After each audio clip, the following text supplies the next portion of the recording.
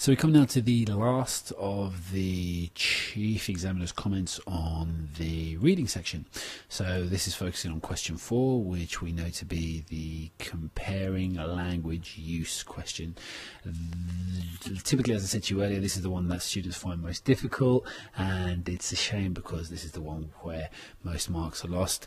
But uh, we're going to get a lot of feedback now from the chief examiner and try and bear what he says in mind. Question four was a question with which most candidates had difficulty. There were 60 marks available for this question compared with 8 marks for questions 1, 2 and 3.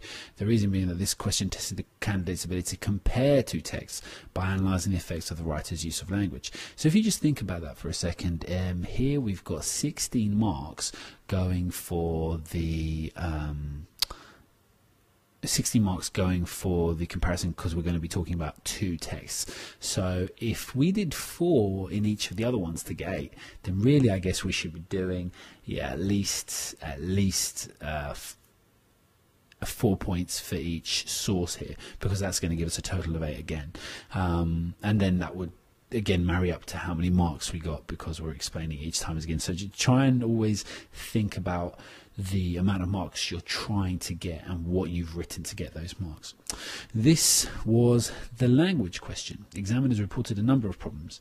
Sometimes candidates made general remarks about genre, purpose, audience, and voice, often confused, without producing effective and succinct examples from the Everest text in support and without finding valid comparative aspects from the chosen text.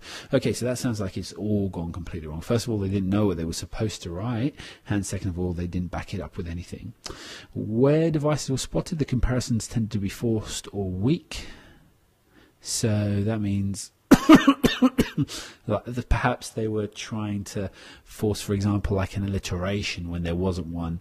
Um, uh, you know, a partial alliteration, or, or there was a weak example of a of a, perhaps you know humour, etc. General comments, for example, about being in the first person, being an article happening in the present tense, or they both use rhetorical questions, might have developed into a valid response, but often did not. So you can presume that all of these are fair enough points to mention, but they weren't developed enough in the cases that the examiner is talking about. In the best responses and those sought by the examiners, candidates selected interesting, vivid, colourful, or exciting phrases from the Everest text and unwrapped their meaning and effect. So that is a very clear indicator to us about what we're trying to do. We're trying to pick out the best sounding or the most vibrant passages, sorry, passages is too long, the most vibrant phrases, and we're trying to unwrap them for their meaning and the effect that they have on the reader. Then they found similar or very different examples from the chosen text explaining that the difference in language use resided perhaps in purpose and or audience. So that's really telling because it means that we don't have to find the direct opposite of what we're looking for.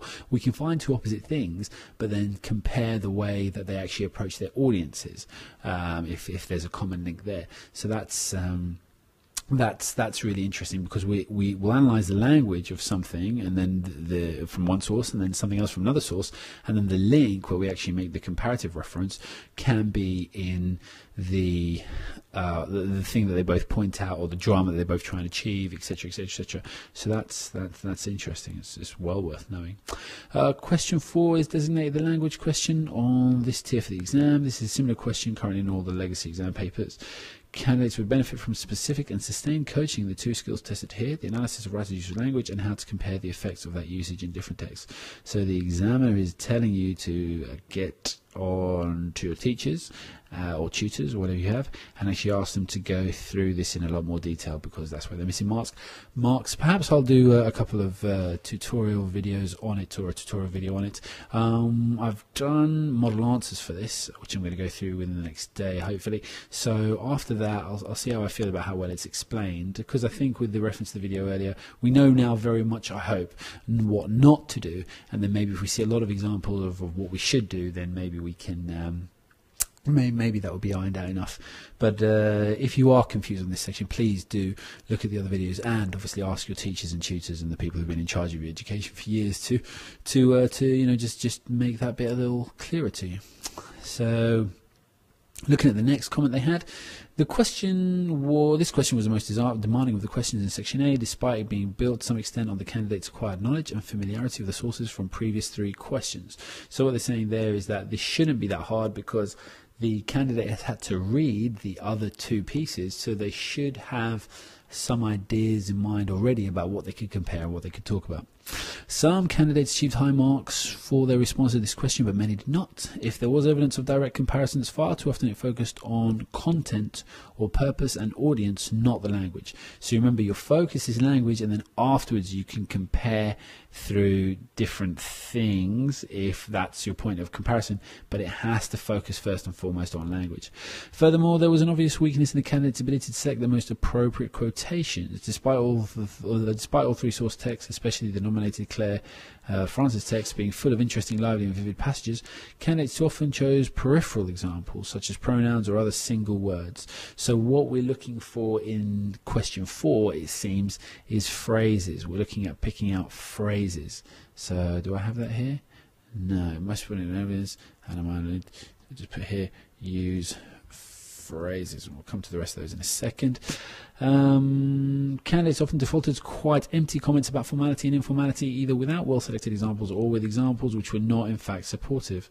Wow. Oh. So basically, the candidates there were actually picking things out and then just throwing in examples or, or, evidence that didn't actually support it at all. Those who did focus on language sometimes just listed linguistic techniques or devices without giving accounts of the effects and not comparing. So remember all the different parts that you have to pick out. You compare things in your essay. Remember, this one's going to be like a little essay. You kind of pick things out, make your introduction, and then you know pick something that's similar or different. Uh, run with the comparison A B A B A B, and then always, always, always discuss the effects, um, the effects that it's actually having on the reader. Um, great. So, fewer than 40% of the candidates achieve a mark out of 10, or so, wow, fewer than 40% of candidates achieved a mark of 10 out of the 16. Fewer than 40% mark of 10. So that means 60% of people got a C or below, and this is for a higher paper. So when you think about that, that wouldn't be enough for an A star, an A, or a B. So on this question, this question really let everyone down. So anyway, so I guess that's just uh, statistically affirming what we already know that this is well the hardest question, or this is the question that people find most difficult, should I say, and uh, they're not not prepared for it. Uh, this is just that too many candidates did not know how to address this question. No, right. Sorry, we should have just read what he was going to say rather than say it. Um, so the examiner tips then uh, must support with evidence, uh, use phrases, analyze phrases rather than just single words. Um, the similarity difference can be in what is picked up, uh, picked out, or in how it is used or who it is aimed at, but must focus on language first and foremost. Good, and you must remember to compare whatever else you do. So that's, I think that's really, really sound advice, and uh, perhaps if we if we can uh, get a load of mock questions up, or ask your teacher for a load of mock questions, then that's really going to help us kind of develop the uh, the response that uh, we can we can go with here. Or perhaps someone's already done a couple and they want to volunteer some. Um, if that's the case, that would save me a lot of typing. So please, if you've, you've done something with your teacher and uh, you know you got a good mark for it uh, for this question and you want to put it up, I'd be more than happy to throw it up here as long as you didn't mind. And remember, you'd be uh, helping loads of people with their learning.